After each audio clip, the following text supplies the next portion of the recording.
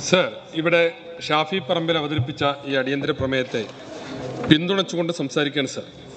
ഇവിടെ ഇപ്പോൾ ഇടതുപക്ഷത്തു നിന്ന് ചില സ്നേഹിതന്മാരുടെ സംസാരം കേട്ടാൽ പ്രത്യേകിച്ച് ശ്രീ ജലീലും ഇപ്പോൾ അവസാനിപ്പിച്ച ശ്രീ ബാലേന്ദ്രനും ഒക്കെ ഉമ്മൻചാണ്ടിയോട് ചെയ്ത കൊടിയ അപരാധത്തിന് അവർക്ക് വലിയ കുറ്റബോധമുണ്ട് എന്ന് പ്രകടമാകുന്ന സംസാരങ്ങളാണ്.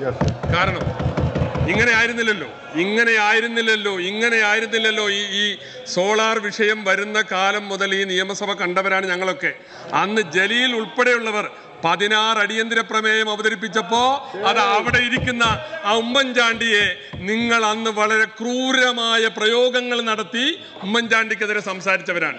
ഇപ്പോ ഇപ്പോ അന്ന് ചെയ്ത എല്ലാ സമസ്താപരാധങ്ങൾക്കും നിങ്ങൾ ഇവിടെ മാപ്പ് പറഞ്ഞതിന് തുല്യമാണ്. ശ്രീ കെ ടി ജലീൽ ചോദിക്കുക ആരാ ഉമ്മൻചാണ്ടി അപമാനിച്ചതെന്ന്? ഏ? അത് കേൾക്കുമ്പോ വല്ലാത്തൊരു തമാശയാണ് തോന്നുന്നത് സാർ. വല്ലാത്തൊരു തമാശയാണ്. ഇങ്ങനെ ഒരു മനുഷ്യനെ അപമാനിക്കാനുണ്ടോ? എന്തെല്ലാം വിധത്തിൽ അപമാനിച്ചു? അന്ന് അന്ന് പ്രതിപക്ഷ നേതാവായിരുന്ന ശ്രീ അച്യുതാനന്ദന്റെ പ്രസംഗം. നിങ്ങൾ അതുപോലെ പലരുടെയും പ്രസംഗം. ഇപ്പോ എല്ലാം സൈറ്റിലുള്ള കാലമാണ്. മുമ്പാണെങ്കിൽ പ്രസംഗം നോക്കി വായിക്കണം. അത് അത് റെക്കോർഡിൽ കിട്ടും. ഇപ്പോഴാണെങ്കിൽ അന്ന് അദ്ദേഹം നീട്ടിക്കുറുക്കി അവിടെ ഇരിക്കുന്ന മുഖ്യമന്ത്രിയെ അവഹേളിച്ചുകൊണ്ട് നടത്തിയ അച്യുതാനന്ദന്റെ അന്നത്തെ പ്രതിപക്ഷ നേതാവിന്റെ പ്രസംഗങ്ങളുണ്ട് സാർ അതൊന്ന് എടുത്ത് വായിക്കണം. ഇങ്ങനെ ഒരു മനുഷ്യനെ അപമാനിക്കാനുണ്ടോ?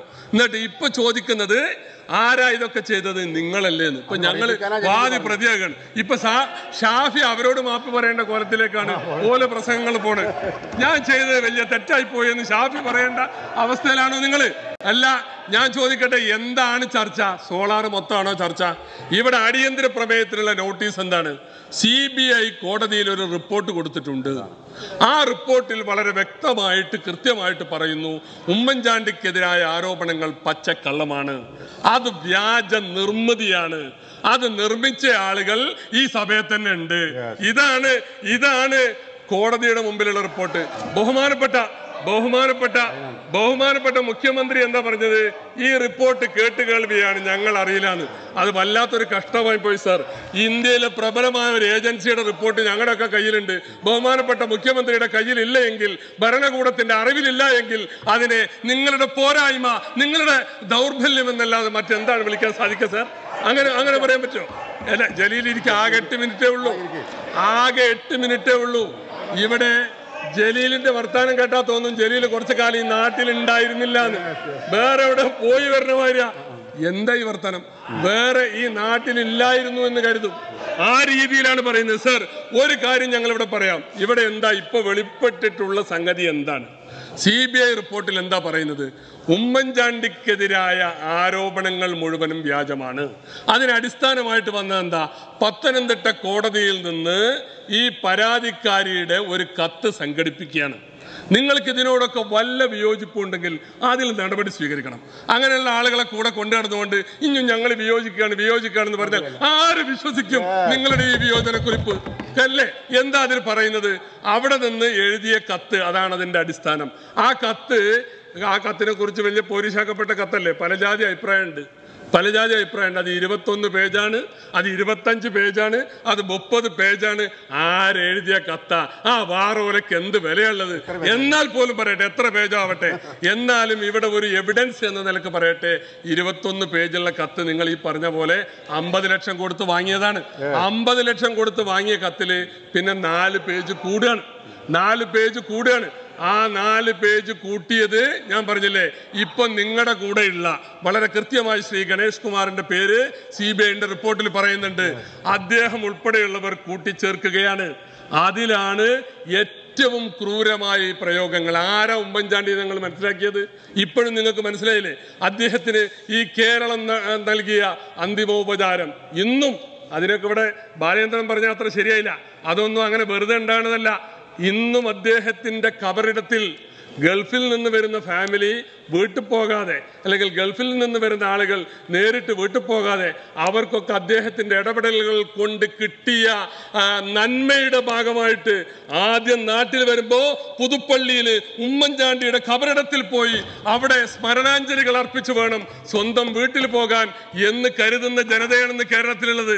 ആ അങ്ങനെയുള്ള ഒരു മനുഷ്യനെ ഇത്രയേറെ ജനകീയനായി നിങ്ങൾക്ക് കഴിയോ? എനിക്ക് കഴിയോ?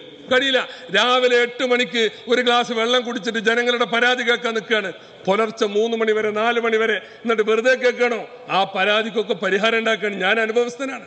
എത്രയോ സംഗതികളിൽ പാലക്കാട്ടെ ജനസമ്പർക്ക പരിപാടികളിൽ എന്തിന് അട്ടപ്പാടി അദ്ദേഹത്തിന് എന്നും പാവപ്പെട്ട ജനത ആദിവാസികൾ അവരെന്തു പറഞ്ഞാലും അദ്ദേഹത്തിന് അതൊരു വലിയ കാര്യമാണ്. അത് പരിഹരിച്ചു കൊടുക്കാൻ അദ്ദേഹം ശ്രമിക്കും. യഥാർത്ഥ ഗാന്ധിയനായി.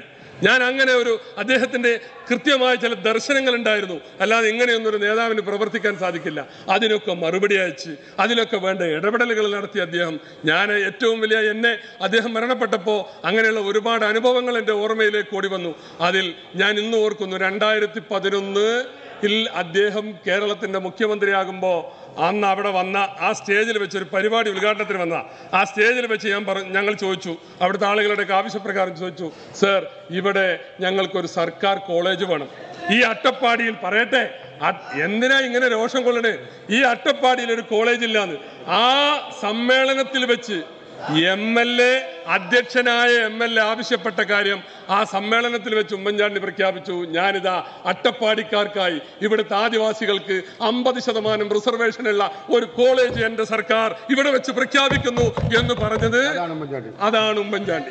ആ ഉമ്മൻചാണ്ടി ആ അതുപോലുള്ള എത്രയോ ജനങ്ങളുടെ പ്രശ്നങ്ങൾക്ക് പരിഹാരമുണ്ടാക്കിയ ഉമ്മൻചാണ്ടി ആ ഉമ്മൻചാണ്ടിയെ അപമാനിക്കാനുള്ള ശ്രമങ്ങൾ നടത്തിയ ആളുകളെ ഇനിയും നിങ്ങൾ പ്രോത്സാഹിപ്പിക്കുകയാണ്. ഇവിടെ പറഞ്ഞില്ലേ ക്രൈംബ്രാഞ്ച് തള്ളിയ കേസിൽ രണ്ടായിരത്തി പതിനാറിൽ ഇങ്ങനെ ഒരു പരാതിയുമായിട്ട് ഇത്തരത്തിലുള്ള പശ്ചാത്തലമുള്ള ഒരു സ്ത്രീ വന്നപ്പോ നിങ്ങളത് സി ബി ഐക്ക് വിടാൻ തീരുമാനിച്ചില്ലേ? ഇനി നീതി പ്രതിഷ്ഠിച്ചിട്ടാണോ അത് സി ബി ഐക്ക് വിടാൻ തീരുമാനിച്ച് ഇനി അതാണ് ശരിയെങ്കിൽ ഞാൻ ചോദിക്കട്ടെ? നിങ്ങൾ വിട്ടതാണ് ശരിയെങ്കിൽ ആ സി ബി ഐ പറയുന്നത് കേൾക്കാൻ അങ്ങക്ക് ഉത്തരവാദിത്തല്ലേ? ആ സി ബി ഐ എന്താ പറയുന്നത്? ഈ മനുഷ്യനതിൽ വിശുദ്ധനാണ്. ഈ നേതാവിന് അതിലൊരു പങ്കുമില്ല. എങ്കിൽ ആ ആ ആ വേണ്ട പ്രവർത്തികൾ ചെയ്തവർ ഇപ്പൊ നിങ്ങളുടെ കൂട്ടത്തിലുണ്ട്. അവർക്കെതിരെ നിലപാട് സ്വീകരിക്കാൻ ബഹുമാനപ്പെട്ട മുഖ്യമന്ത്രി തയ്യാറാകുമോ എന്നാണ് ഈ ചർച്ചയുമായി ബന്ധപ്പെട്ട് എനിക്ക് ചൂണ്ടിക്കാണിക്കാനുള്ളത്. ഞാൻ ഈ ഷാഫി അവതരിപ്പിച്ച അടിയന്തര പ്രമേയത്തെ പിന്തുണച്ചുകൊണ്ട് അതിനനുസൃതമായ നിലപാടുകൾ ഉണ്ടാകണമെന്ന് പറഞ്ഞുകൊണ്ട് ഞാൻ എന്റെ വാക്കുകൾ ഉപസംഹരിക്കുന്നു.